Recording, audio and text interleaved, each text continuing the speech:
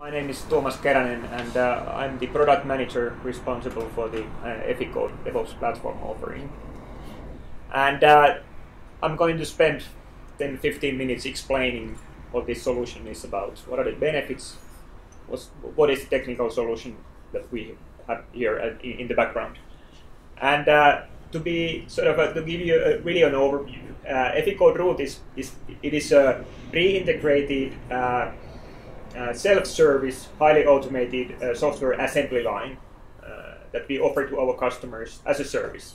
So we also uh, offer a wide variety of services, uh, ranging from platform setup to, to project onboarding, to maintenance support, and then to, to continuous platform development.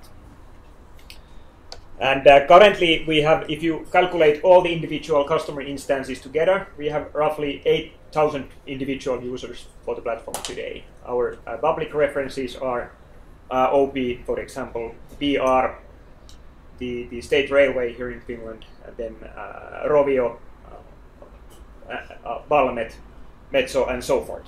The DNA is also our customer. So, what is it good for, the platform that we have? So, Uh, DevOps is basically, uh, above all, uh, a way of working together as a team towards a common target uh, without having the traditional boundaries between uh, design, product management, development, testing, and operations. it's basically a culture. But it is really hard to work together without having a common set of tools. Uh, so to be able to make a successful DevOps transformation, you will need a, a rock solid foundation, which is basically provided by well thought integrated software production line. And uh, this foundation that we offer, uh, along with, of course, the culture and uh, the new way of working, that provides means for delivering software with short release cycles. It's exactly what Marco talked about. Uh, so with short delivery cycles, you are able to first of all create and then transfer value to your end users faster than before. The idea is to have a constant flow of value streaming towards your customer throughout the pipeline. Uh, automation provides basically a basis for the short release cycles as well as short feedback cycles for the development teams. So the, the, the Eficode Root platform, it basically enables the teams to fully automate building, uh, testing, and release processes throughout the, the software development pipeline. So everything that can be written as a code should be written as a code and then automated. Uh, once you ha uh, have gained the capability to deliver software fast through the pipeline, it is essential to gain visibility across the system. So, uh, for example, are the teams using the, the tools as they should? Uh, are they using the tools at all?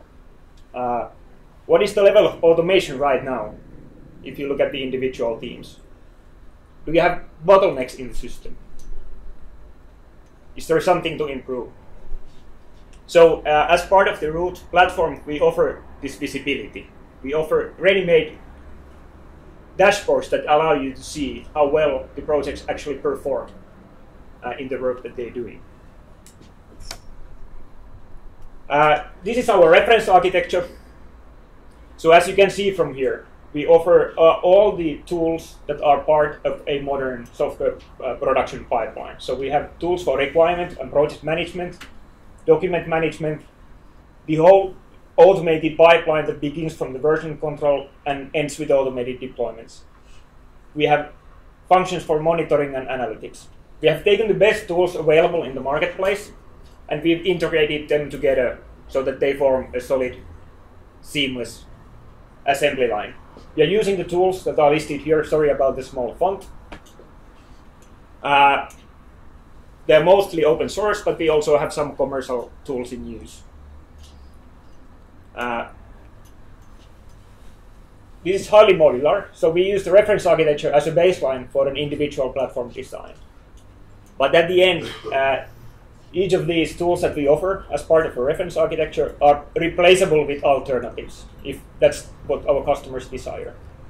the platform itself, it can be also built in pieces. So we can start with a smaller installation, a smaller set of tools, and then we expand from there.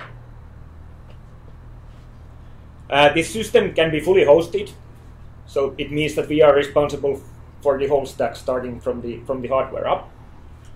Uh, we make sure, sure that it's available 24/7 uh, and so forth. But it can also be installed in in the customer premises on premise, or it can run on a public cloud infrastructure.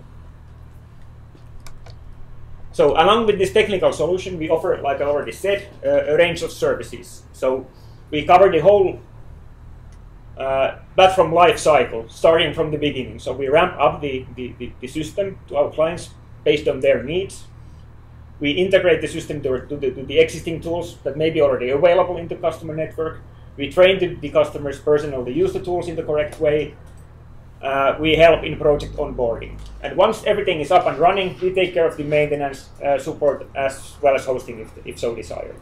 So we make sure that everything works smoothly and uh, the teams that actually are then responsible for using the tools have always support available based on their actual needs. So this is on-demand support work. And then we always make sure that that the, the, the uh, platform is up to date and we keep adding new functionalities to our selection so that our clients are basically able to pick and mix whatever tools they would like from our portfolio of solutions.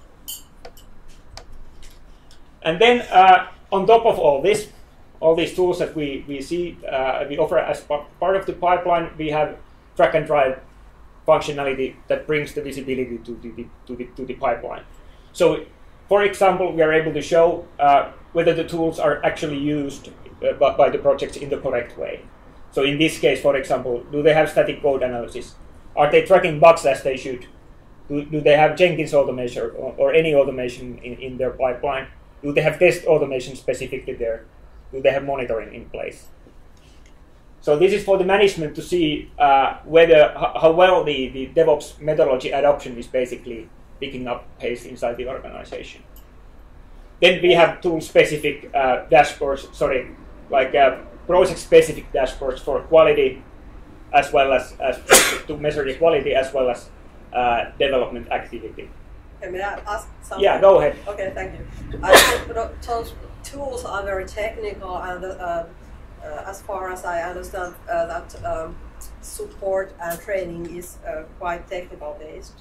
But uh, how about your consulting, for example? Is it uh, supporting kind of cultural change in an organization? because it's, it's not always a tool. We do that as well. Okay. So uh, so it's quite typical actually that we offer the platform itself, meaning the tools and the basic yeah. support and maintenance and all that. And uh, along with that, uh, there is somebody from our side, a consultant basically, who makes sure that the, the teams get all the support they need, okay. like a DevOps lead type of a character. Okay. Yeah. And if you look at it from the Eficode's point of view, we're already what 125 DevOps consultants basically uh, through the Nordics, and that's what we do as uh, the biggest business area. But you're right about that. That it's usually something that's needed as part of moving towards. Yeah, it's not the tools. Yeah. Like. Yeah, like I said, I said in the beginning, it's about the culture. It's, yeah. it, it's about the, the teams working together towards a common set of targets.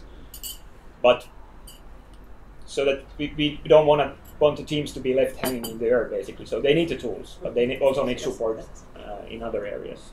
Um, sorry, I have a question about yeah. So, um, as I come from an organizational role from quality assurance and testing, I think the, the if you have kind of rapid de development and deployment, the test automation packages are not kept up to date. So you also have some kind of automatic test case creation and or analytics for is yeah. it part of the kind of the build work or part of the automation?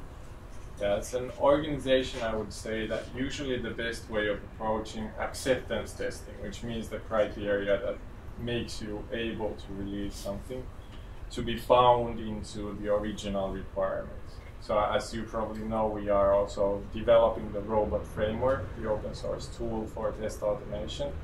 And one part of the ideas behind that test automation is that it's written in a language that can be understood by the whole organization and the team.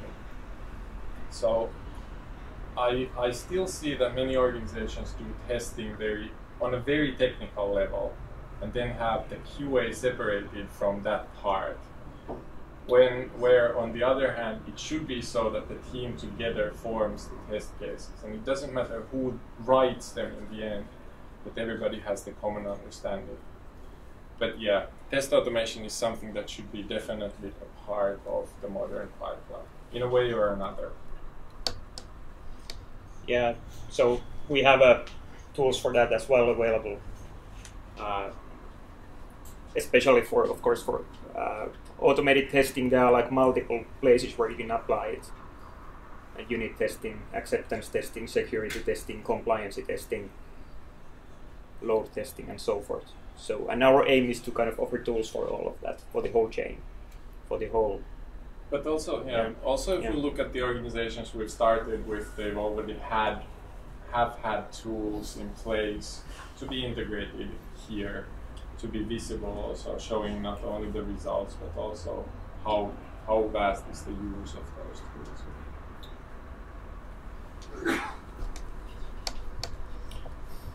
All right, but that was more or less what Yep. I had in my plans. Cool. Any questions? Okay. Thank you.